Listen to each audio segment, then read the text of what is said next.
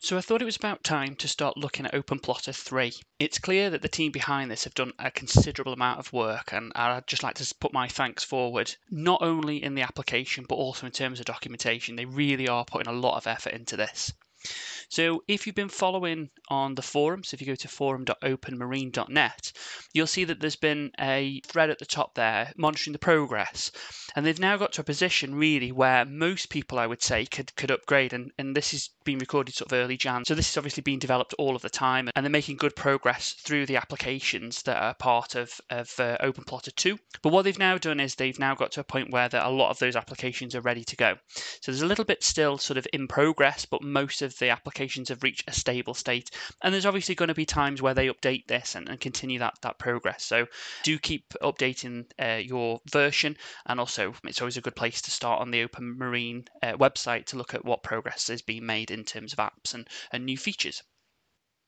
Some of the main things that have appeared in 3 are we are now at a stage where we can run a 64-bit operating system. So they've migrated to the later version of the Raspberry Pi OS, which is Bullseye, and it comes in two flavors, 32 and 64. So just a quick bit of information around 64-bit operating system. In terms of memory, there's a lot more options now. So where we've in the past really only had sort of up to a gig, two gig on those sort of Raspberry Pis, we've now got a Raspberry Pi that's got eight gig of memory on it. So you can actually make a lot more use of that memory on the Raspberry Pi with a 64-bit operating system. So I'm going to split the video into two. So there's going to be a section of getting started, what you need to do in terms of OpenPlotter 3, and then there's going to be uh, a, a chunk of the video that just focuses on upgrading from 2, because that process actually is really quite simple and you can do it quite quickly. So I'll put timestamps at the bottom of the video so that you can jump through to the section that you need. So if you head straight to Google and you put an open plotter, that's going to take you straight to the documentation, the downloading page. That's that's one of them. And the other site that you're going to need really is probably the forum. So forum.openmarine.net, and there's some really good articles and posts and things on there. Um, it's got a good community. So let's get started and, and get it downloaded. So if we head over to here, um, welcome to Open Plotters documentation. Click on that one. Um, and as I say, what they're really trying to do is put the documentation around each of the apps, which is a really good uh, approach to take here. So if you click on Getting Started, and what do you need? So the basics that you actually need to get this up and running is a Raspberry Pi. Um, you're going to need a keyboard, a mouse, a screen, um, a power supply I don't know where you're going to be running this, whether you're going to be powering it from the mains or from your boat battery. So there's a couple of different options there. But to get up and running, you're going to need a power supply. You're going to need an SD card. And then you're probably going to need to get yourself a USB GPS receiver. You can obviously connect this into the boat network. Um, and receive information that way. But uh, if you want a standalone unit, just simple, just up and running quickly to get yourself some sort of chart plotter, that is what you're going to need. When you've got those components, the next thing you're going to want to do is head over to the downloading section. So head over to here, click on OpenPlotter Getting Started. There are other versions. You can run it headless, and headless means that it's not got a monitor connected, so it's going to boot up with a network address. But for absolute basics and to get yourself up and running, click on the Getting Started. And here now you've got the two options of the 32-bit and the 64-bit operating system. I would go for the 64-bit operating system. If you've got yourself a Raspberry Pi 4 and it's got um, two to four gigs of RAM, preferably four gig is the sweet spot. Um, go for the 64-bit OS. It is just just better. It's faster and it's better. So if you click on that, get that downloaded.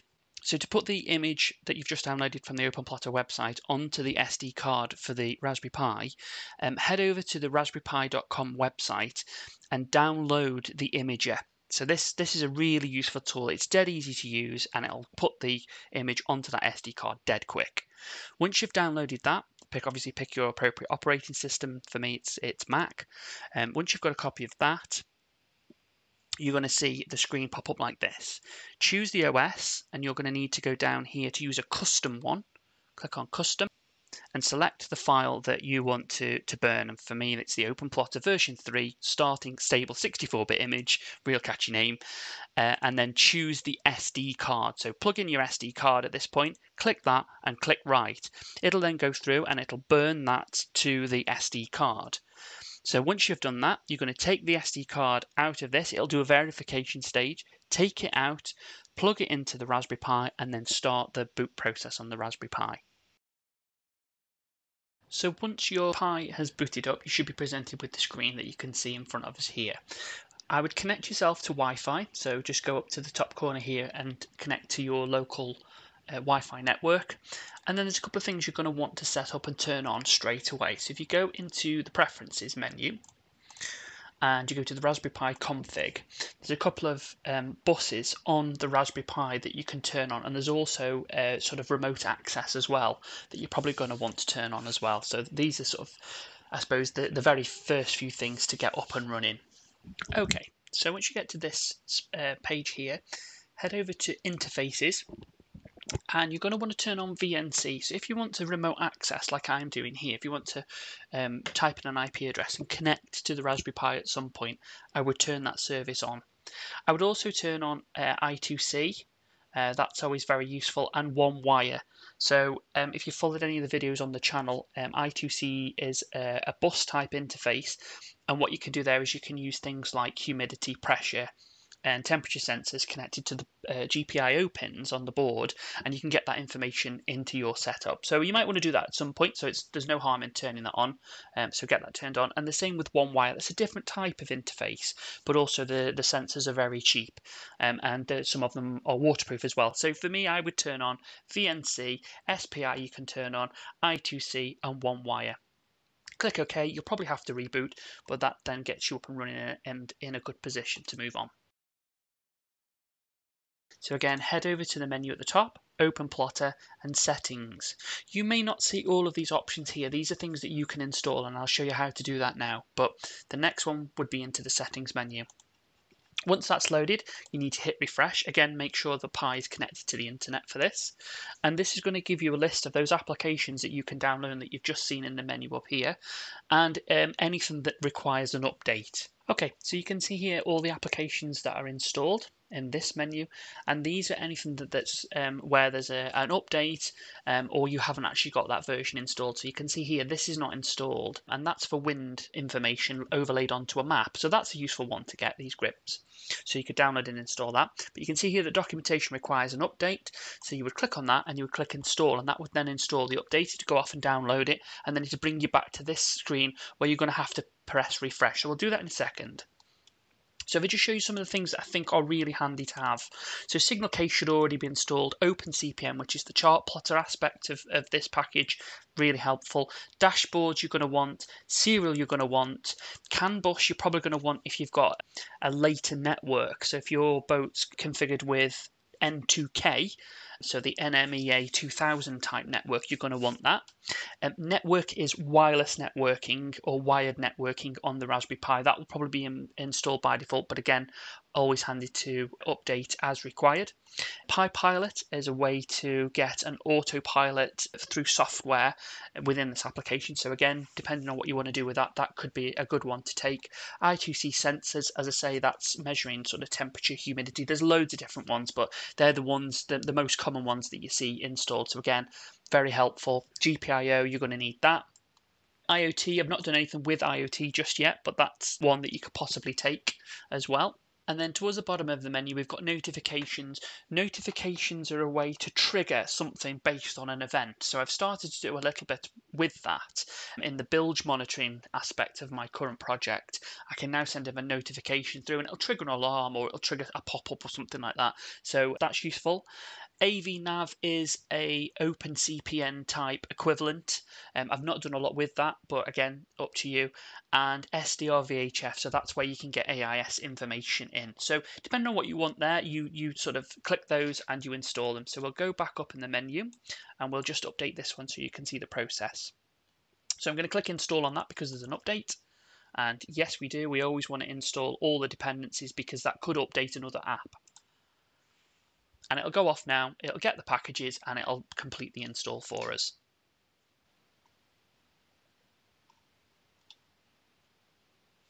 Okay, and now we will need to click refresh. And as you can see, that pending task has disappeared and the install version matches the candidate version. So we've got the latest version now of all the software.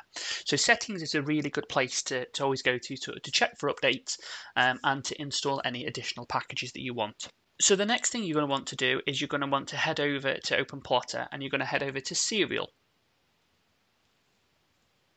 So in here, this is where you're going to add your GPS receiver, and you can see that my GPS receiver is saying that it's missing. It, it isn't actually plugged in at the moment. I'm recording this on a different device. So what you would do here is you would plug in your device, as you can see there. You would give it an alias, give everything an alias. It's really handy later on when you get a bit more advanced and you start collecting a lot more things to this package. You can actually see what's what. So always give things um, a short alias so that you know what it is.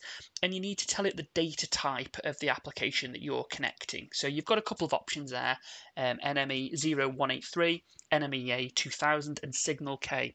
Signal K is useful for something that's got a plug-in. So where you're connecting things like a maybe a Victron battery monitor, it doesn't actually know the format that it's coming out. It's going to use a plug-in within Signal K to actually decode that information. Things like a GPS, it sends the data by default in that format. So as I say, depending on what you're connecting at this stage, you need to give your device an alias and you need to tell it the data type. Once you've done that, you're going to see that pop up in the application in a second.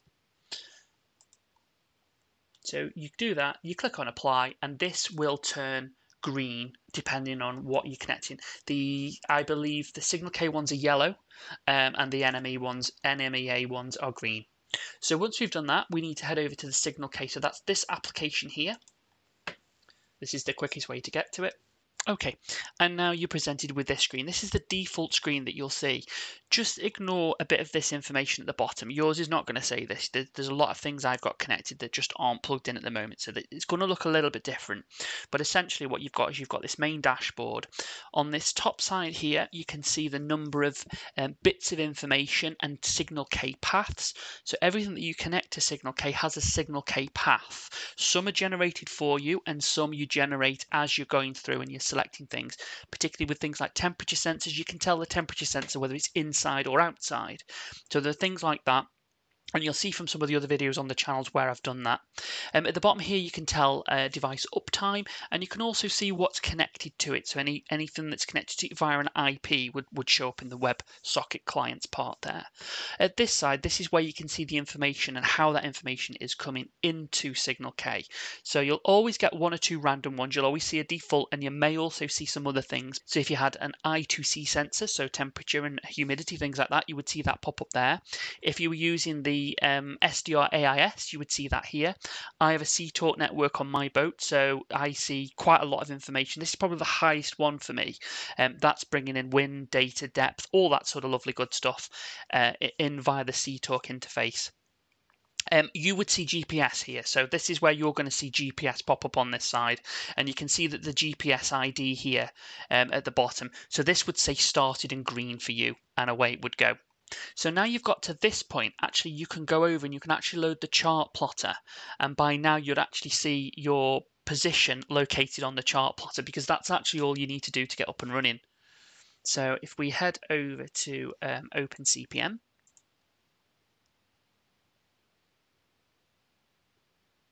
And here now you'll get um, uh, your position information at the top. This should go green and you should see your location plotted on the map.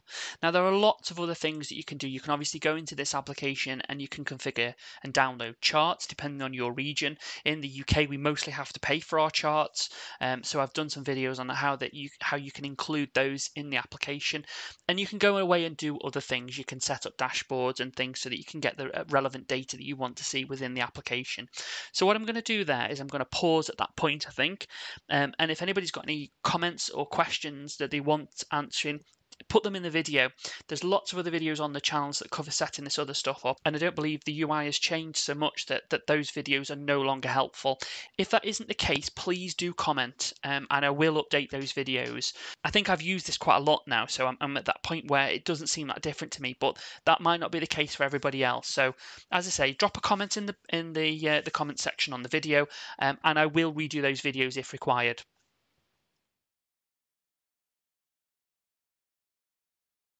So in this part of the video, we'll look at how you can migrate from version 2 to version 3. So if you've been following the channel for a bit, you'll know I've done quite a bit of work in KIP, um, and I've got Grafana running, I've got quite a bit of data sort of going to and from in different sensors and things. So I was a little bit concerned about this, but actually it's quite a relatively easy process to follow.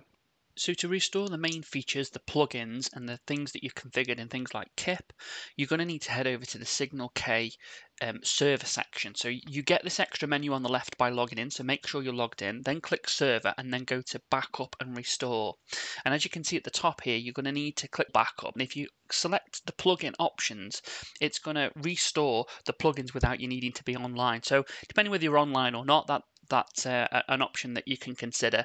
I chose to take a full backup because when you do the um, restore point, you can actually select what parts of that you're going to restore. So take everything for now um, and, save that to a USB stick.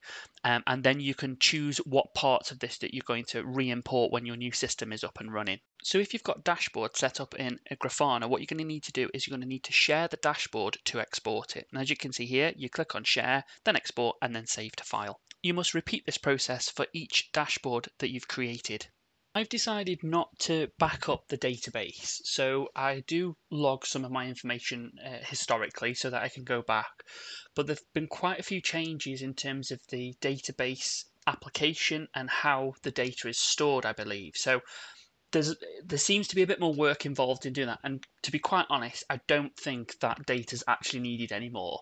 So I've not gone through the process of exporting the database. I've left that where it is. Um, and now the where you're sort of seeing this picking up is when um, we've gone through the installation process with OpenPlotter 3. So I've wiped the hard drive, I've installed OpenPlotter 3 on a 64-bit image, and I'm now at the point where everything is booted back up um, and I've got my files ready to, to import. So here you can see the Signal K backup that I took, and these three files are the files that came out of Grafana. If we log back in and we go to the backup and restore and we choose uh, restore from file. Um, we're going to need to pick the file that we want to restore, and that's the file there. And I'm going to click open, and I'm going to just show you the process um, of restoring that into Signal K and getting everything back up and running. You can see here that it's gone through that restore file and it's got the various parts of that restore file back. There are uh, the plugin config is there, the settings, the security, so your um, account and anything that you've uh, gone into and approved in terms of you know when you get the notifications it says you need to approve the security token all of that stuff now is actually stored within this file. So depending on what bit you want to take back um, and restore into this version um, you can select the options for here. For me, I'm just going to do a full restore and, and get everything back to, to where it is. There are a few things obviously that you're going to have to go in and just tweak. Some of the plugins I've had to go in and just retweak and update also because they look like they've gone through and had a look at, at which ones uh, maybe haven't been updated for quite a while. And as I say, there are a few little changes within the software. So I'm, I'm not going to be able to cover everybody's setup with this, but basically just restore to that point and then go through each of the applications that you use and the settings in terms of the open plotter parts. So when you go to things like um, the GPIO app or the I2C app and make sure everything is there and, and set up correctly. So here we go. We click on confirm and it's going to start the process of actually uh, downloading and installing those plugins for us so now that that's complete, you can see here that um, when we load KIP, most of the dashboards are back to where they used to be. There's a few bits missing. The Grafana plugin is obviously missing from there because that's not running at the moment. But some of the gauges are missing some of the, uh, the the paths. So what I had to do then was I had to go through and just retweak the paths and, and uh, make sure that everything was set up as it was previously. Some of the sensors hadn't picked themselves up. But the vast majority of the stuff was there, so it wasn't like I was starting from scratch. There are a few small UI changes. As you can see here on the uh, I2C sensor, there's no connections tab anymore. You used to have to, the Signal K part of that was actually on a separate tab, where it's now actually integrated with the main sensor. So there's a few little things like that have changed, but if you're familiar with um, OpenPlotter 2, you'll you'll pick this up really quickly. There's there's nothing that um, is overly complicated here. If anything, it's it's simpler than it was previously.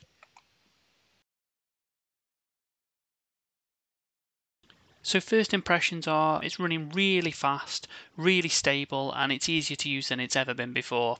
A couple of things that I'd just like to point out that I've now changed from my previous version, and one of those being the Appian client. So I'm now running this in a way where I can connect to it, and it's already connected to the Marina Wi-Fi. I couldn't do that previously, and I'm not sure I tr ever tried it on the Pi 4 um, with OpenPlotter 2, but in earlier versions that seemed really unstable and it doesn't anymore. So that's uh, something I've noticed.